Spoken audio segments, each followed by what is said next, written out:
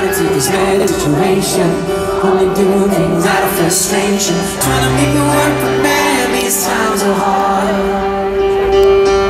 She leaves me now, but I can't seem to find the time.